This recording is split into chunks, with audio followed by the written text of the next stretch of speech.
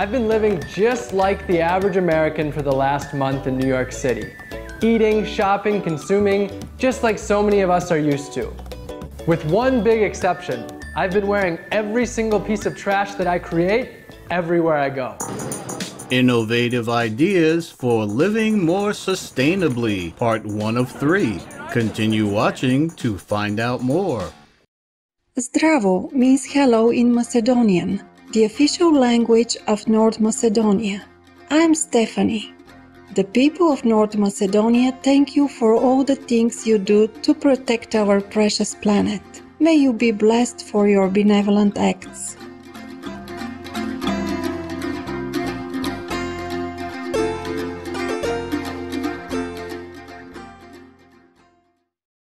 Greetings, eco conscious viewers, and welcome to part one of our three part series Innovative Ideas for Living More Sustainably. Beloved Mahatma Gandhi ji, often referred to as the father of India, once said, The world has enough for everyone's needs, but not everyone's greed. His wise words are particularly relevant today. Our must have must buy economy is eating up the planet's resources like never before.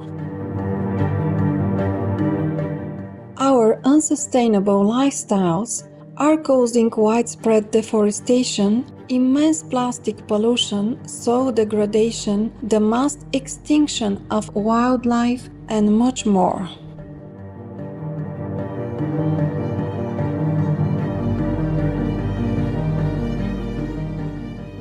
Our current ways of living are also causing the most pressing environmental issue facing Earth today climate change.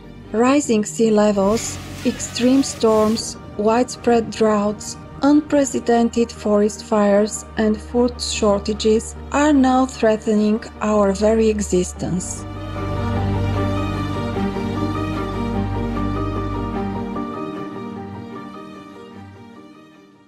Many people are growing increasingly alarmed about Earth's rapidly deteriorating environmental condition and are looking for ways to live more sustainably.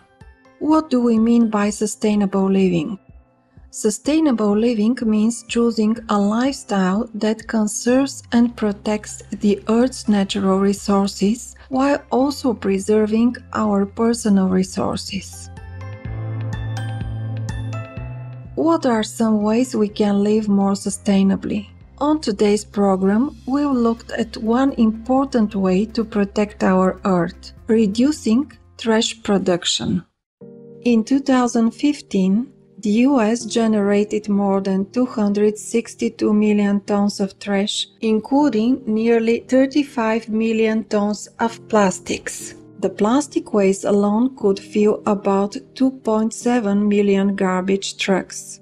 In fact, the average US citizen creates 2 kilograms of trash per day. However, most people never think twice about it. Once it's thrown into the garbage can, it's out of sight, out of mind. Mr. Rob Greenfield, a US adventurer, environmental activist, and humanitarian, decided to clearly illustrate the impact of our throwaway society.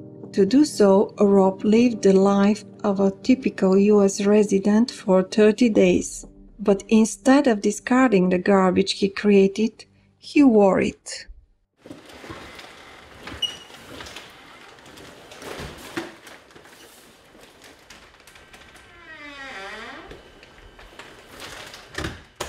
Let me rewind and explain how I got here. My name is Rob Greenfield, and I'm an adventurer and an activist. We have a minute to talk about trash. Do you know where your trash goes, by chance? Do you know where your trash goes? Normally, I live a near zero waste life. But lately, people have been calling me the trash man, or the trash monster, trash former, or trashtronaut.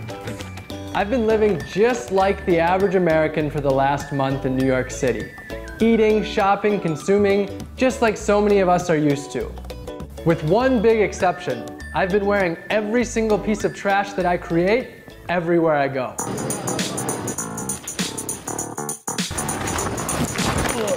Wow, if one person can generate this much trash in a month, think of the impact of billions of people. So, what are some of the best ways to reduce waste? Fortunately, substantial information is available on this topic. Many people have started living zero waste lives and are posting informative videos or blogs about how they have reached this goal. By searching the internet for zero waste or minimal living or sustainable living, we can find many, many tips on how to reduce waste, protect the planet, and also save precious time and money.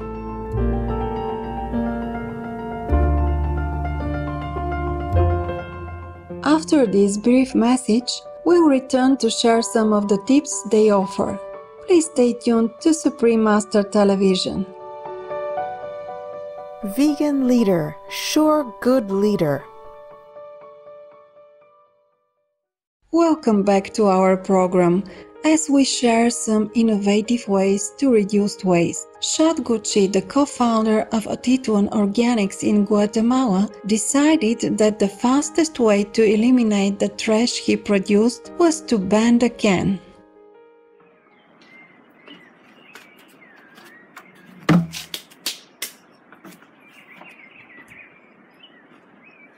Hi, I'm Shad, and one year ago I banned the can.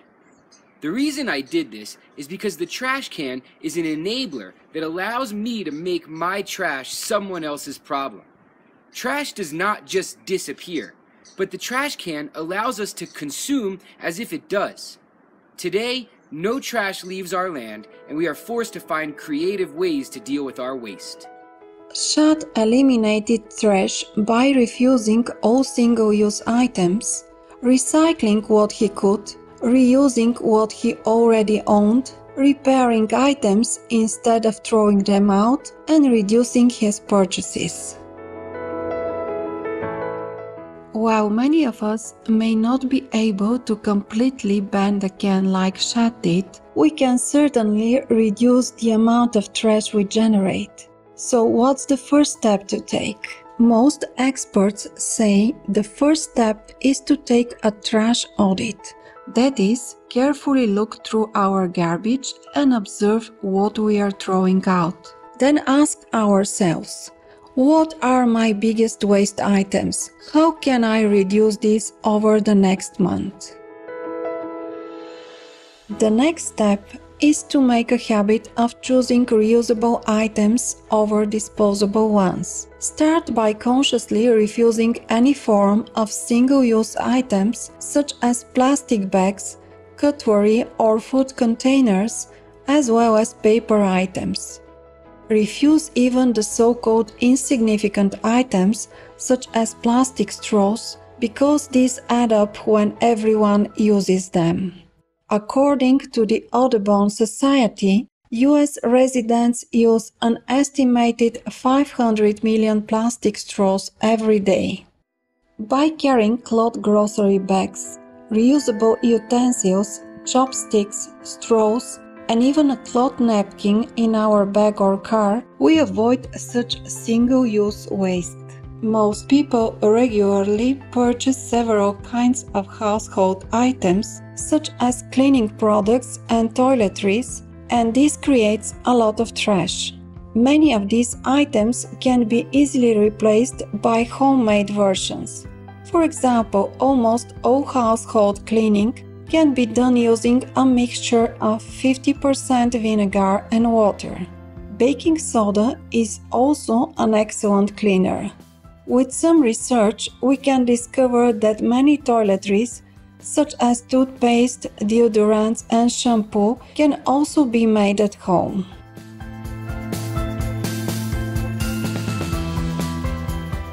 To significantly reduce our environmental footprint, we could even join a sustainable community where resources are shared. And as we can see from one such village in Los Angeles, USA, called Eco Village Sustainable Community, we don't even need to leave the city to do it. Let's watch a brief video about this innovative sustainable community in Los Angeles, courtesy of Rob Greenfield.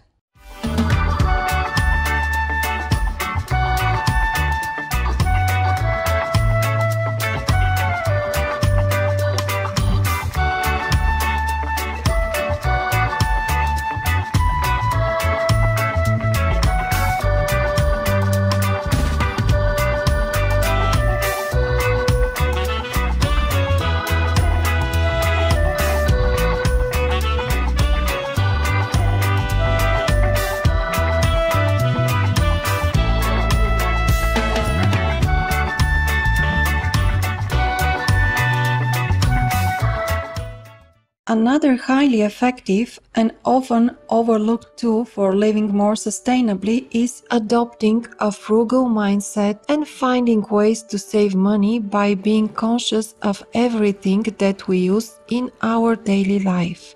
Such an attitude eliminates many unnecessary wastage of our Earth's resources. Some cultures, such as the Memons, an ethnic subgroup of the Sunni Muslims, train their children in this way of living from a very young age. In an interview with BBC, Hira Khatri, a Memon mother from Karachi, Pakistan, says that while turning off the lights or fan when you leave the room is important in any household, forgetting to do so in a Memon family is a cardinal offense. She adds, we also paid for offenses. 15 Pakistani rupees, 10 cents US, was the going rate for forgetting to turn off the lights.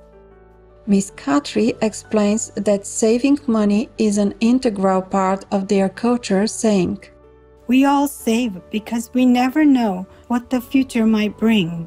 My kids are 32 and 27. I still stand at their doorstep on the first of the month to take a sizable portion of their income to invest for them. It's not don't spend, it's don't waste, says Nadim Ghani, a Memon and Dean of Academia Civitas and Nixor College in Karachi. Being frugal has an element of humility. It's a manifestation of respect.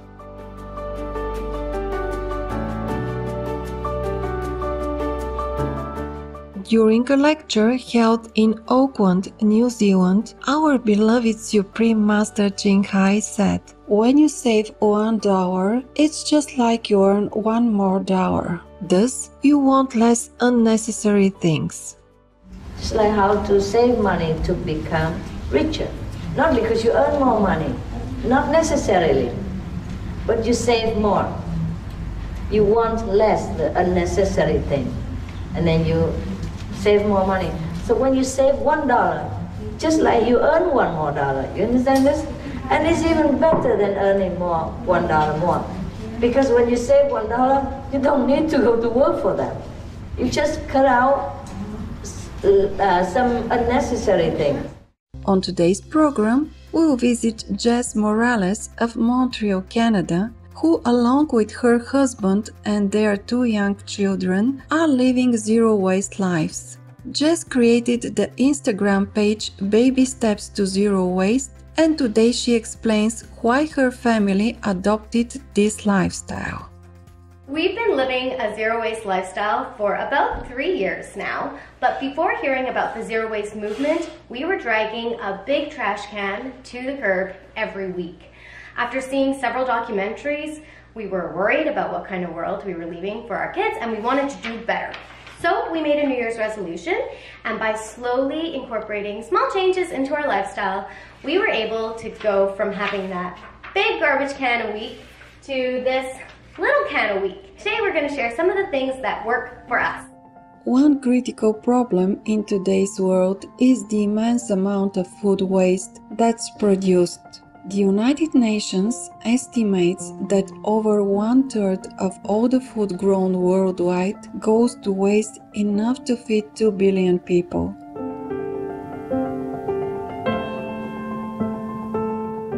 Not only does this cause an estimated annual loss of almost 1 trillion US dollars, but it also misuses an enormous amount of Earth's precious water, land, energy, and other resources.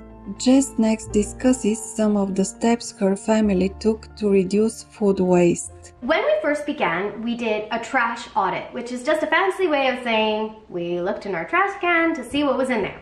And we realized that most of our garbage was food waste and food packaging. So we stopped buying prepackaged meals and snacks, and now we buy loose fruits and vegetables, and we also opt for um, things that we can find easily available in bulk, like seeds, nuts, raisins, things like that to snack on. And instead of buying packaged meals, we cook a lot of our stuff from scratch. So this change was a little bit overwhelming at first, but we try and get our kids involved. So um, we're always in the kitchen all baking and cooking together. It can be really messy, but I look at it as quality family time that we're spending together and also it's a great opportunity for my kids to learn how to cook. Jess then took another step to eliminate waste. She noticed that still edible food was being wasted when her two young children didn't finish everything on their plates. One thing we were noticing was perfectly good food ending up in our compost bin. So we started serving our kids smaller portions and we allowed them to go back for seconds or thirds or even fourths if they were still hungry. And we also offered a variety of healthy options during the day so that they could pick and choose what they wanted to eat. So just by doing those two little things, we were able to reduce the amount of edible food waste.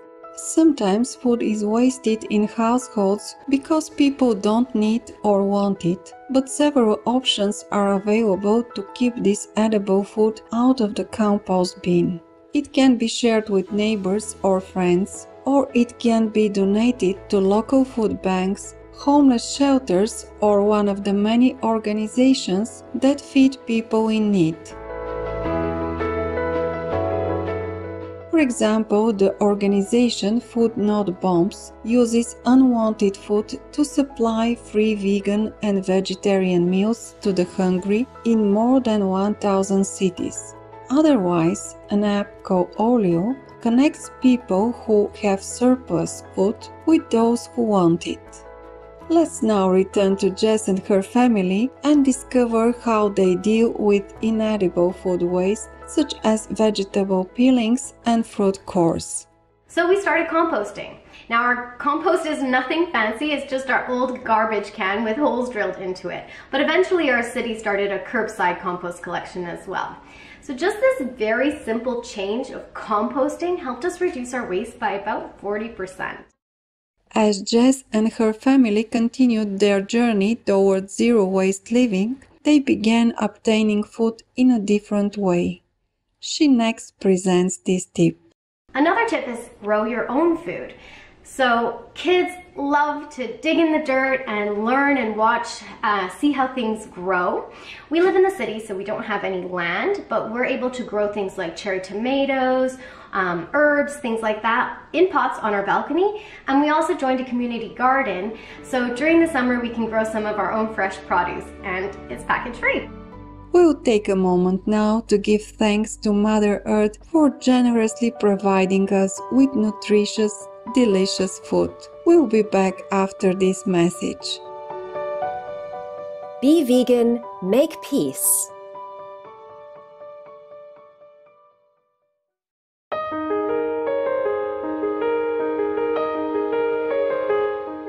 Welcome back to our program as Jess explains how, in their zero waste journey, she and her family dealt with special occasions. We found a tricky time to be low waste as parents was during birthdays and holidays.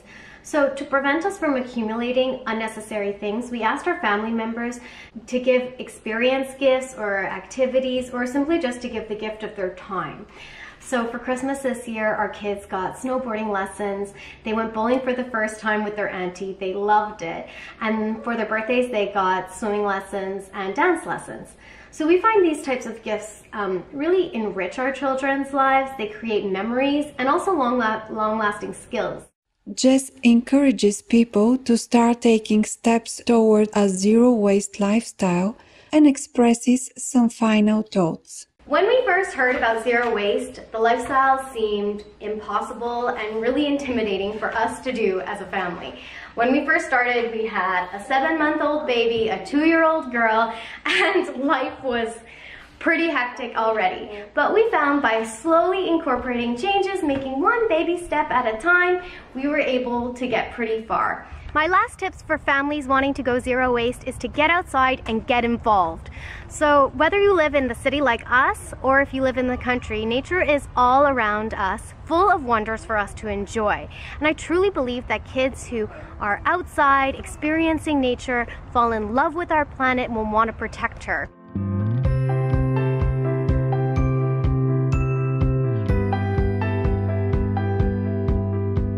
Our most gracious Supreme Master Ching Hai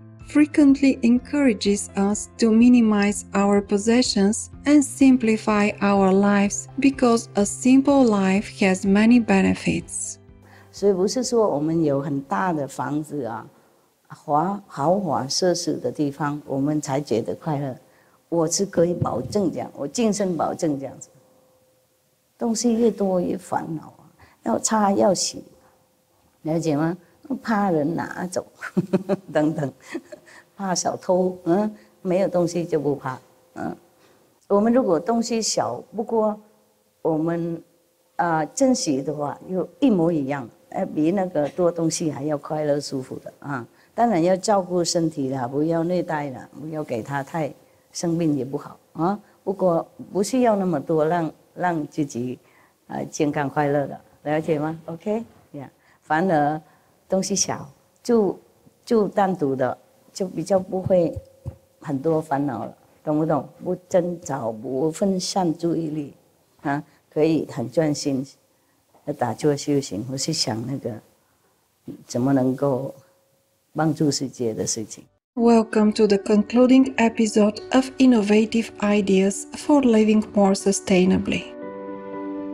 Sustainable living is a lifestyle that conserves and protects Earth's natural resources while simultaneously saving our own resources. In the previous episodes, we learned that adopting a vegan diet is the single most important way to live more sustainably. In addition, moving towards zero waste is an excellent step. On today's episode, we look at another important change we can make living more simply. Our beloved Supreme Master Ching Hai provides an excellent role model of simple living. She has lived in tiny houses, storage sheds, mobile homes, and even caves, always with minimal possessions. Master explains why she lives this way. The fewer things I have, the happier I feel. I feel freer, you know less crumble, less burden, and fewer ah. things to worry about. Just a necessity, bare necessity only. And then I feel like I'm in control of my world. While there are many ways to simplify our lives, let's first look at one aspect our clothes.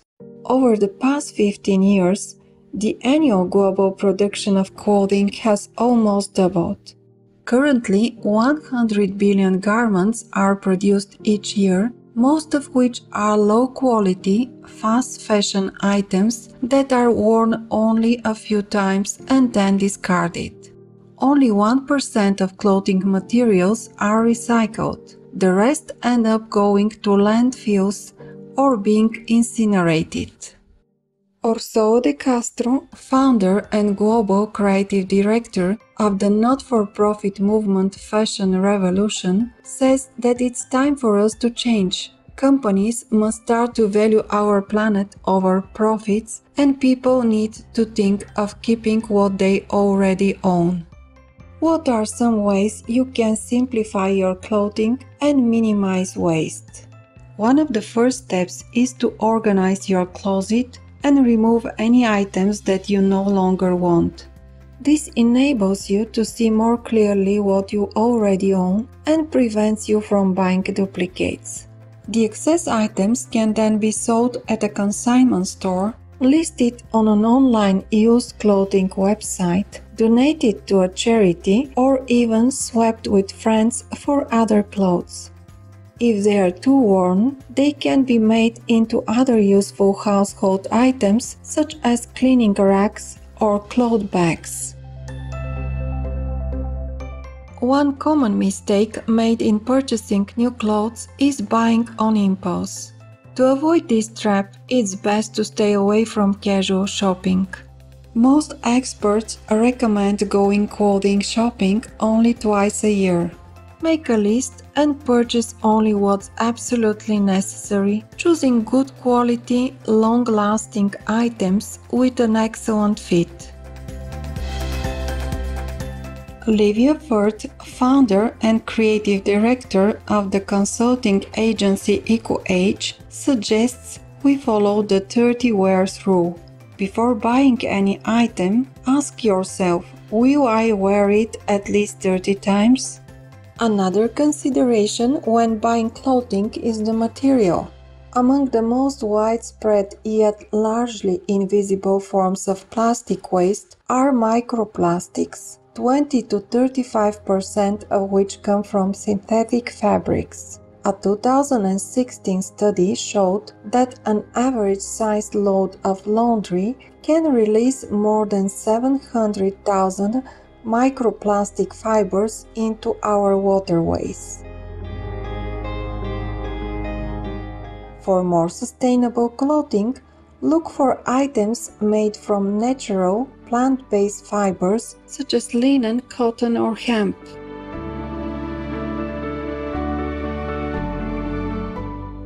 We'll take a moment now to thank heaven for those who are raising awareness about the impact of our clothing on the environment.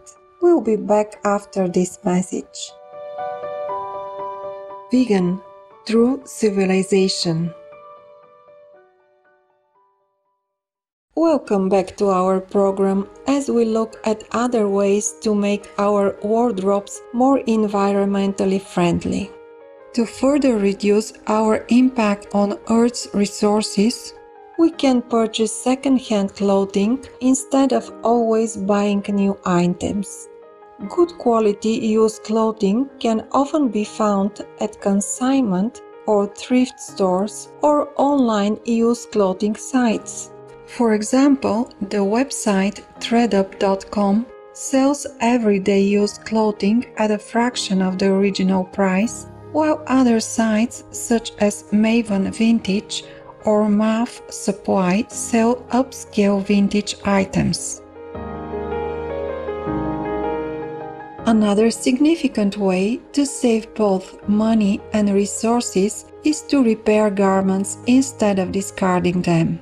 By doing minor repairs such as sewing on buttons, darning socks, and repairing minor rips and tears, we can often get significantly longer wear from a garment. Even a stain can be disguised by painting a decoration or sewing an attractive patch over it. Do you love your winter jacket but the zipper is broken? Consider having it repaired by a local seamstress or tailor and enjoy wearing it for many more years. By regarding our clothing as precious resources, we change our buying habits. For example, it's easy to throw away socks because they are so inexpensive. But billions and billions of socks require vast amounts of resources to produce. So consider wearing your socks for as long as possible. What about clothing needed for a special occasion like a graduation, wedding, or other elegant gatherings. Most often, we know we'll never wear that special occasion outfit again. So, what to do? Most experts agree that it's best to rent instead of buying such a garment. Not only does renting cost substantially less, but it also eliminates unnecessary waste. Speaking of renting, this same philosophy applies to household items that we need for a specific purpose but will seldom use after that. For example, according to Google's sustainability website, there are 80 million power drills in the US each of which is used for an average of 13 minutes. To preserve our Earth's precious resources, a more sustainable solution would be to rent such items when needed. Interestingly, the COVID 19 pandemic and its subsequent lockdowns are creating greater environmental awareness as people have more time to take note of their habits.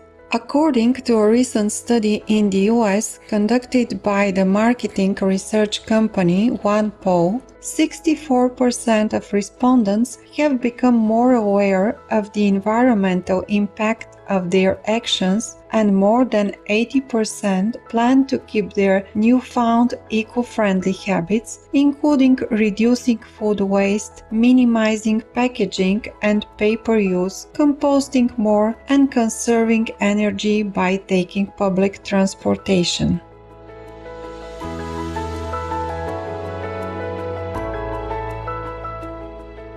Our beloved Supreme Master Ching Hai often reminds us about the environmental impact of our actions. She quotes scientific evidence showing how raising livestock results in enormous environmental damage is an inefficient use of Earth's resources and is the leading cause of climate change. Raising livestock also causes immense suffering for the 70 to 80 billion animals slaughtered each year. To live more sustainably, Master urges everyone to quickly adopt the vegan lifestyle. She also frequently shares other tips on sustainable living. Only the vegan lifestyle is truly sustainable. Now, once we become vegan, and urge others to join, we could practice sustainability in other ways. We could plant organic vegetables and trees. Better still are those fruit trees and nut trees and those uh, vegetables or legumes like beans and stuff that need little water. That we can do research to know which ones need less water because right now we are short of water as well.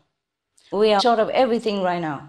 So we should be frugal, not to waste precious energy and water. Use our own shopping bags even. We encourage sustainable energy development and we can write or talk to the government and the media and the farmers even because we really do need all the help from the government, from the media to accelerate the trend. Another good way to quicken our movement to a sustainable planet is to generate more positive energy. Do good deeds and be loving and kind. Expand our loving quality. This is what will create a shield invincible to protect us and the planet. Finally, we can pray that divine power manifests on earth to awaken leaders, the media, the influential people, and all the world citizens to take the right steps to preserve our planet and fast, fast before it's too late. Because at this point, we do need heaven's intervention to save our planet. Not to, to, to pray to them to protect us, to, just to pray so that they awaken everybody to the solution of vegan diet, because that is the solution that will save our planet if we can do these things, starting with being veg, we would realize not just a sustainable planet, but a real paradise of peace in our lifetime. Many thanks, Supreme Master Ching Hai, for the sage advice. We pray that we'll soon be living in an all vegan world, a paradise of peace. Much love, viewers. Thank you for your delightful company during today's show. We wish you a long life, excellent health, and continuous spiritual upliftment. Our programs offer many languages. Please visit suprememastertv.com forward slash schedule and suprememastertv.com forward slash PE. Vegan, Noble Royal Prince.